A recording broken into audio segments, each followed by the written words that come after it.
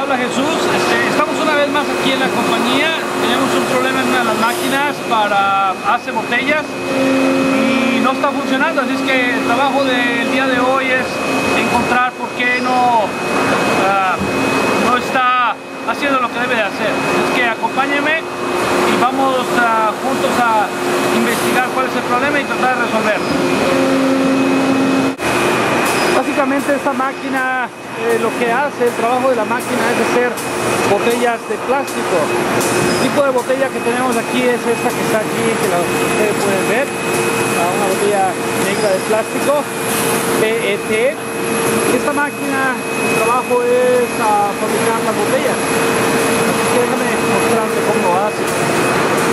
Básicamente ah, llega una resina por aquí, por esta parte, pasa a este, a este lado donde está la inyección, aquí se calienta, pasa aquí y ahí hace eh, lo que se llamaba el preformado, el preformado, después del preformado pasa a esta parte de aquí donde ya sale la botella ya hecha.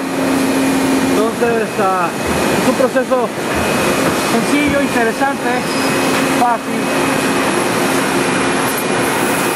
Básicamente lo que ahorita el problema que tenemos con la máquina es que la otra máquina se apagó este screen y se apagó este panel view. Entonces esto es el problema que tengo ahorita en la otra máquina, entonces vamos a revisar qué es lo que está pasando. Fui a traer mis herramientas, entonces para poder ir pues use eh, lo que es el LACA Tagout para que nadie pueda operar esta máquina hasta que no regrese para eh, investigación de qué es lo que está pasando.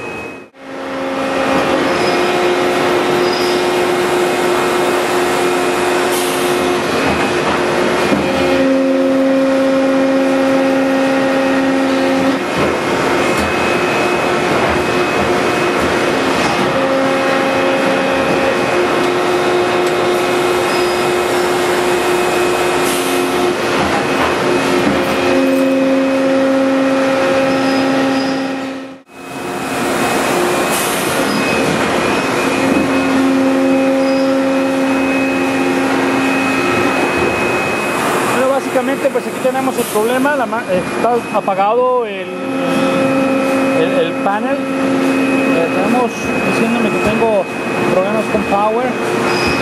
Aquí no está prendido nada. Es que vamos a revisar por qué razón no tenemos eh, energía. Vamos a revisar aquí. Aquí tengo mi multímetro, un Fluke 87. Tengo los diagramas y vamos a iniciar por revisar la corriente desde la entrada y ir continuando con cada uno de los de, los circuitos. Tenemos arriba todos los posibles posibles arriba, posibles abajo. Es que vamos a empezar por aquí. Bueno aquí iniciamos el chequeo vamos a probar aquí en la parte de arriba. Es la entrada principal. Y tenemos un total de 500 voltios dos fases checamos una vez más. 498 bastante bien. Vamos a revisar el que sigue. Arriba. 498 el que sigue 500 tenemos uh, voltaje de entrada. Ahora vamos a revisar bueno aquí tenemos eh, un circuit breaker que es QF2 que es ese que está allí, QF2 ah, después tenemos un transformador que es este que está aquí y luego sale a QF3 revisamos el voltaje en RS y T y nos dimos cuenta que está muy bajo en esta parte de aquí. Así es que eh, lo que vamos a revisar es antes de que entre al QF3 y después que salga si tenemos problema aquí tenemos que ver la entrada al transformador después de que sale en KF2 entonces vamos a revisar UVW1 a ver si tenemos voltaje ahí entonces aquí abajo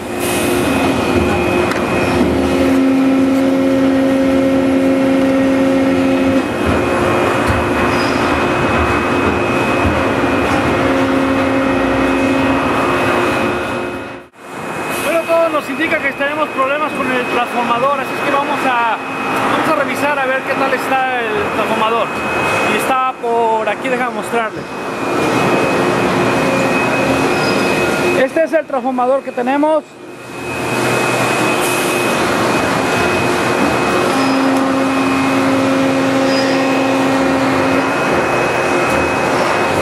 Es de 10 kVA, 440. Estas son las conexiones de entrada. Y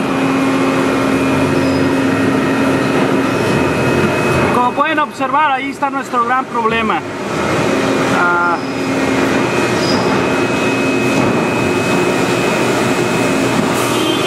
este es el problema que tenemos con el transformador. Una de las salidas W1 está dañada y es la que vamos a tener que reemplazar aquí en el transformador. Bueno, fue fácil el día de hoy encontrar el problema aquí en el transformador y tiene parada toda la máquina, así que vamos a arreglarla.